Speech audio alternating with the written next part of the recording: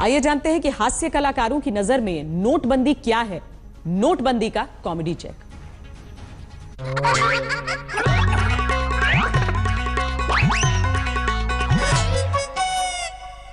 वैसे 2016 का सबसे बड़ा जुमला क्या था? 2016 का सबसे बड़ा जुमला था अरे कुछ गुंजाइश है क्या? कुछ चांस है? हमारे अपने ही नहीं बदले अभी तक।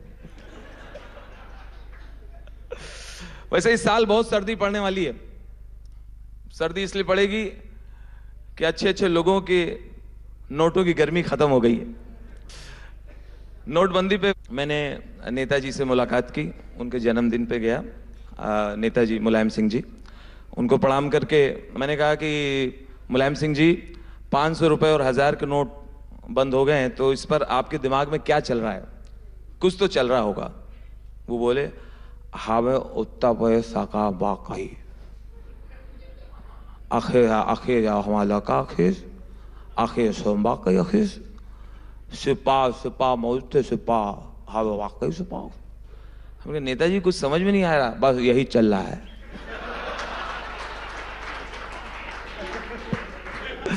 लेकिन इस नोटबंदी के फैसले से, मोदी जी के इस फैसले से एक बात अच्छी हुई कि मोदी जी ने मनमोहन सिंह को बोलना सिखा दिया।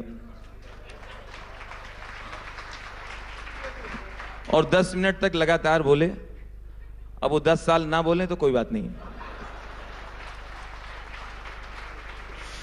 जैसे ही वो 10 मिनट बोल चुके, अहमद पटेल ने मैडम से कहा, मैडम, ये बोल लिए अब इनको कबाट में रख दें? एयर इंडिया एयर इंडिया तो पैसे ले रहा था। पुराने नोट पे काफ़ी लोगों ने टिकट बनवाए और चल रहा था। एयर इंडिया की खासियत है। लोग उसका मज़ाक उड़ाते थे प्राइवेट एयरलाइंस में जाते थे, लेकिन प्राइवेट एयरलाइंस तो बंद होने लगी। विजय माल्या भाग गए। किसी ने बताया, विजय माल्या, भागा हो भले ही, लेकिन कैलेंडर तो उसका इस बार भी छपेगा। 2017 में। लेकिन इस बार उसमें मॉडल्स नहीं होंगे। इस बार उसमें होंगे बैंक के चेयरमैन अभी नोटबंदी पे दिलीप कुमार और राजकुमार बात कर रहे हैं। राजकुमार बोलते हैं।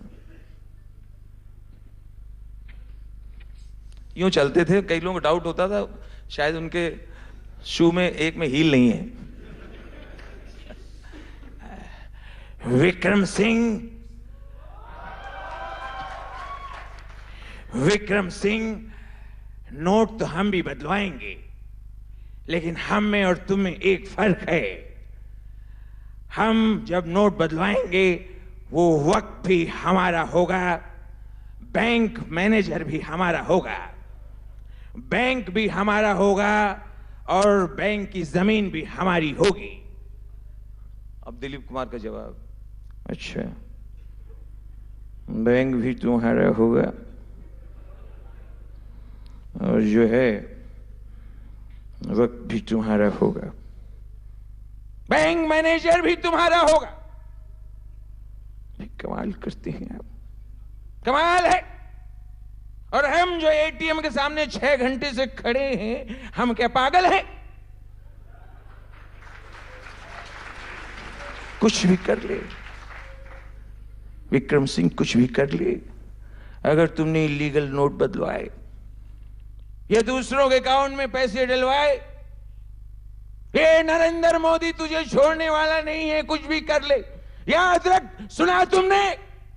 सुना तुमने? बोले हाँ पैसे वापस लो।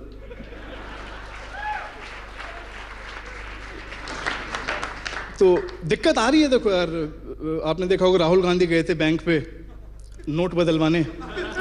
तो पहले तो मैं सरप्राइज़ था, मैंने कहा इनके यहाँ पे भी अकाउंट है? पर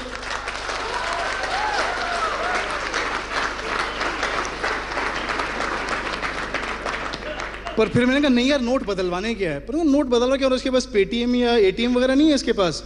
पर फिर मैंने कहा, नहीं यार गांधी फैमिली तो अभी टू जी यूज़ करती है। इन सब के लिए थ्री जी फोर जी चाहिए होता है, वो तो अभी टू जी पे लगे हुए हैं. आठ तारीख को, आठ नवंबर का ही वो दिन था ना? कैसे भूलोगे? कैसे भूलोगे? तारीख थी एट, हिल गया था मार्केट। मित्रों, आज रात से हज़ार पाँच सौ के नोट लीगल टेंडर नहीं होंगे। हाँ? हाँ?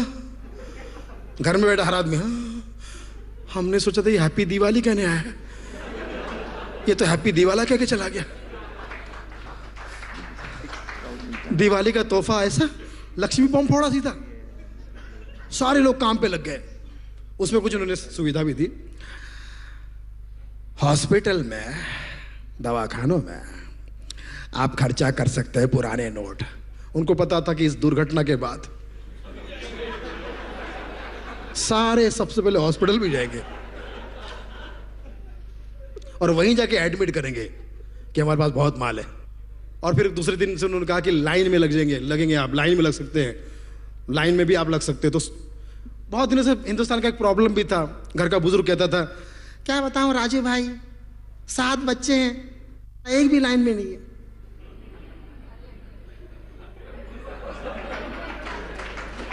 अब नौ तारीख को राजीव ने राजू भाई ने पूछा, कहाँ है बच्चे? सब लाइन पे लग गए हैं। सब अपने अपने नेचर के हिसाब से लाइन पे लग गए हैं। मतलब मतलब जो बच्चा किसी से बात नहीं करता था रिज़र्व था, वो रिज़र्व बैंक में लगा हुआ है। जो हमेशा हाजी हाजी करता है, वो यस बैंक में लगा हुआ है। जो हमेशा ड्रामा करता था, कर्नाटक बैंक में लगा हुआ है।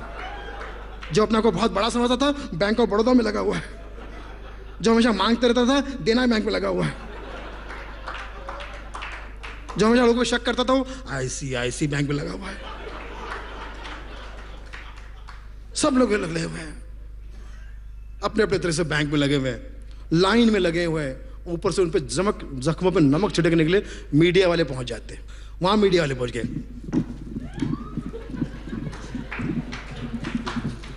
अरे, सर हम आज तक से आए हैं तो कल तक कहाँ थे बे? तुम लोगों को ढूंढ रहा हूँ मैं। India Today India Today. Yesterday के इंडिया के बारे में बता सकते थे क्या हुआ? हैं? आज तक बड़ा ही तेज चैनल है, बड़ा ही तेज चैनल है। किस कैसा तेज चैनल है। ये खबर सबसे पहले तुम दे, तुमको देना चाहिए था ना कि मोदी जी ऐसा सोच रहे सर आप मोदी जी के इस फैसले से नाराज़ है फिर उसने कवर कर लिया कि मीडिया में जा रहा मतलब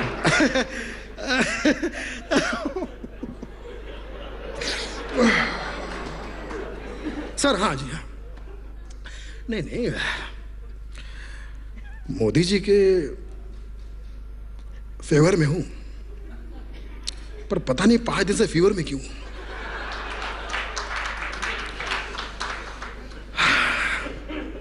थोड़ा पहले बता देना चाहिए था। तो मतलब ना, ऐसा कुछ नहीं है थोड़ा पहले बता देते तो ठीक रहता। बाकी फैसला अच्छा है। गुड देश का भला हो रहा है। अच्छा हो रहा है, बंद करो कैमरा अच्छा है। हर आदमी का मिक्स रिएक्शन अच्छा महिलाएँ वहाँ पर भी लाइन में भी बातें कर रही तुम्हें पता है उसके पास कितना पकड़ा गया? ये वर्ल्ड की ऐसी लैंग्वेज है तो भगवान भी नहीं समझ पाता। वो दिए ना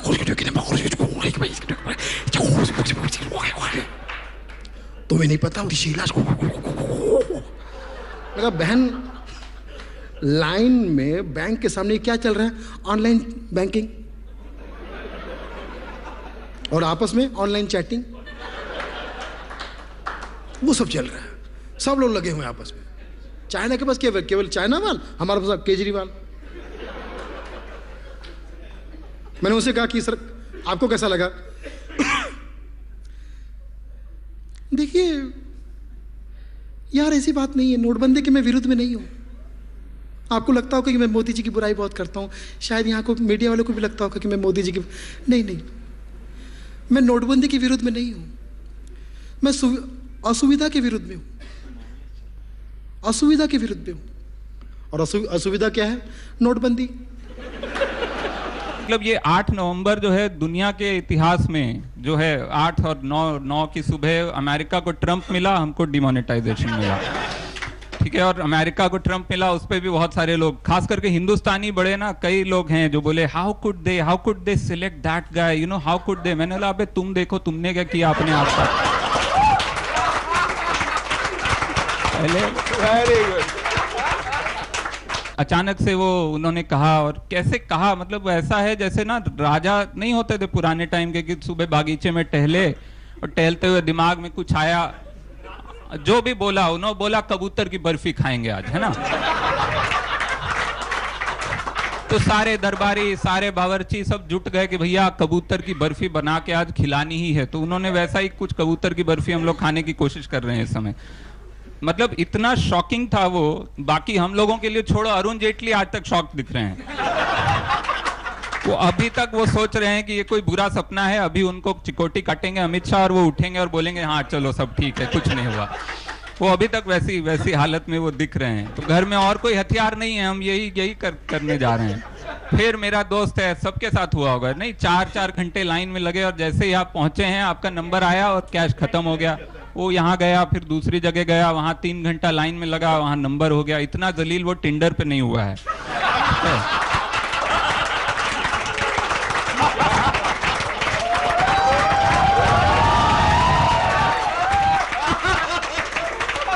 जितना एटीएम ने जितना जलील किया उसको, उतना वो अभी तक किसी इश्क विश्क में कभी वो जलील नहीं हुआ था इतना। इसके साथ क्या हुआ है, जो सब तरह की आवाज़ें हैं एक तरफ़ से ना, और जो जस्टिफाई करने की कोशिश है इसको, और जिस तरह से वो सब लगे हुए हैं। एक तो हर बंदा मतलब सौ में छियालीस घटाना जिसको नहीं आता है, वो इकोनॉमिस्ट बना बैठा है आज की तारीख में हाँ।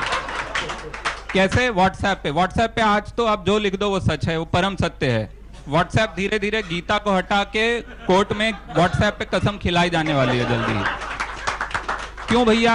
आ जाते हैं मुझे समझाने की ये ना इसके बाद क्या होगा? फ़िज़िकल डेफिसिट इंडिया का 22 परसेंट कम हो जाएगा। मैंने लगा कैसे पता व्हाट्सएप पे आया है? अबे व्हाट्सएप पे तो यार क्या क्या नहीं आया? उस पर तो मैं तुम्हें दिखाऊँगा। दो सींग वाला हाथी दिखाऊँगा तुमको। नहीं, वो ऐसा है, ये है। नहीं नहीं व्हाट्सएप व्हाट्सएप व्हाट्सएप से ही एक्चुअली ये स्कीम कहाँ से आई है? ये रामदेव ने व्हाट्सएप किया था मोदी जी को। कि भैया ये है, ऐसा ऐसा कर दो, और वो व्हाट्सएप भी पूरा नहीं पहुँचा। खुद रामदेव कह रहे हैं कि हमने तो तीन स्टेप दिए थे, उसमें से पहला इन्होंने लगाया, इसलिए हालत है। जो है कि हर बंदा इकोनॉमिस्ट खुद को समझ रहा है, हर बंदा इसको जस्टिफाई करने की कोशिश कर रहा है, और खुद सरकार जिस तरह से वो जो, वो हो रहा है ना, वो गोल पोस्ट चेंज होने का मतलब शुरू में कहा गया काला धन के लिए है, फिर कहा गया एंटी टेररिस्ट एक्टिविटी के लिए है, फिर वो नक्सल नक्सल वो बंद हो गए हैं, फिर कहा गया कि कैशलेस कैशलेस हो जाएगा। मुझे मतलब ऐसा है कि वो सिर्फ़ गोल पोस्ट नहीं चेंज हो रहे हैं। वो गोल पोस्ट से खेल ही बदल दिया गया है। शुरू में हम लोग अचानक से पूरा देश जो चल रहा था अनाउंसमेंट हुआ मन की बात में। कबड्डी, सब लोग कबड्डी खेलने लगे सड़क पे।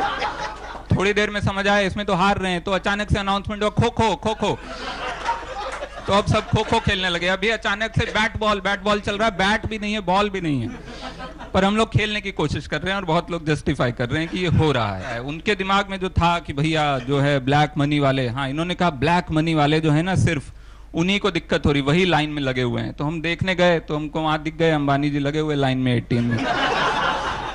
तो हमने पूछा अच्छा क्या हुआ? आप सच में लाइन में? बोला, नहीं नहीं, मैं तो बैंक खरीदने आया हूँ ताकि आगे से गलती ना हो ऐसी। तो ये ये जो इनका है ना फिर इन्होंने कहा अभी कल परसों किसी ने कह दिया एक मिनिस्टर हैं कोई आ, मैं नाम भूल रहा हूँ क्योंकि एक तो बहुत सारे हैं। और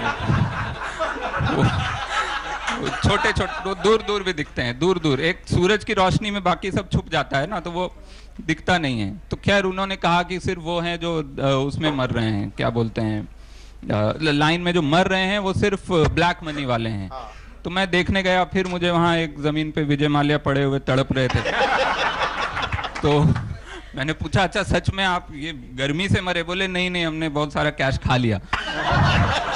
तो तो ये ये जो हो रहा है, लेकिन इस सबके साथ साथ एक जो काउंटर नैरेटिव बनाने की कोशिश हो रही है, जिसमें कि कहा गया है कि अच्छा वो सर्वे निकाला इन्होंने भाई अपने ऐप पे। क्योंकि वो ऐप मैंने डाउनलोड करने की कोशिश की, उसने इतने परमिशन मांग लिए। उसने पूछा, आपने आज कौन से कलर का कच्छा पहना है? मैंने बोला, नहीं। ये सब इतना आगे ना जाए। वो ऐप के परमिशन ही देख के आप डर जाएँगे। ऐसा लगेगा वो ऐप नहीं है, वो रिश्ता है आपके लिए। इतना सारा वो आपको जानना, वो जानना चाह रहा है वो ऐप। तो फिर भी उस ऐप में वो पोल चला। उस पोल में उन्होंने रिज़ल्ट छापे कि भैया, अट्ठानवे प्रतिशत हिंदुस्तान जो है हमारे साथ है, उसमें वो बताया गया। इस तरह के सवाल ही थे उसमें। वो सवाल ऐसे थे कि क्या आप काले धन के अगेंस्ट हैं? यस नो अभी मैं कोई जो काले धन वाला होगा, वो खुद ये यस पे जाके क्लिक करेगा। कौन होगा जो वहाँ पे नो क्लिक करेगा? अच्छा तो ये स्टेप आपको कैसा लगा? ग्रेट अमेजिंग एक्सीलेंट ये ये तीन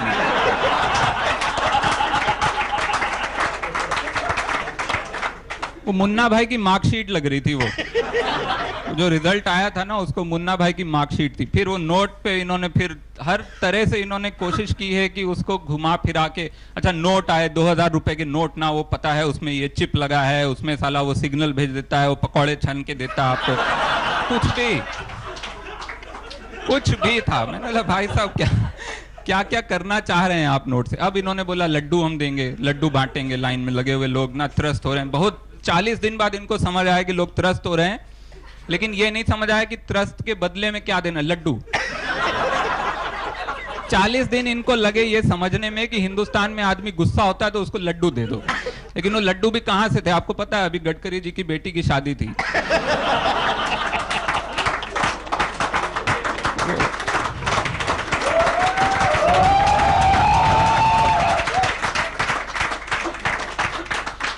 तो होता है, बचते हैं, हम भी सोचते हैं कि लगाओ सालों को कहीं बाहर। वेस्ट नहीं करना चाहिए ना, वो भी एक मंत्र है ना हमारी सरकार का मंत्र। अलग अलग रूल्स हर दूसरे दिन तो रूल्स ऐसे नए नए नए नए बदल रहे थे।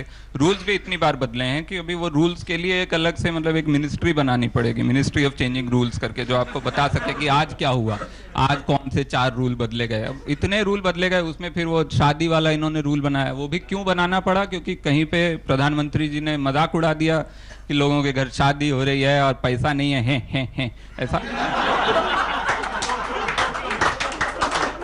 मतलब ये कैसी पंच लाइन थी? ये क्यों थी? किस पे थी ये पंच लाइन ठीक है, उन्होंने वहाँ मज़ाक उड़ा दिया, फिर वो हीट हुई, जो उनके कोर मेंबर जो भी ग्रुप हैं, खासकर गडकरी जी की बेटी की शादी थी बीच में तो वो उन्होंने अपना घुमा फिरा के, फिर उन्होंने कहा अच्छा नहीं नहीं, जिसके घर शादी है, उसको ढाई लाख रुपए उसको मिलेगा। बहुत लोग तो ऐसे ही पहुँच गए, ढाई लाख मांगने। उनको लगा कि मिल रहा सरकार की तरफ़ से। उनको बैंक वाले ने बताया, नहीं नहीं, ऐसा नहीं है, वो मुफ़्त नहीं है, आपका अकाउंट में होगा तो मिलेगा। में बहुत लोग पहुँच गए। भाई, हिंदुस्तानी भोला होता है सीधा होता है। है?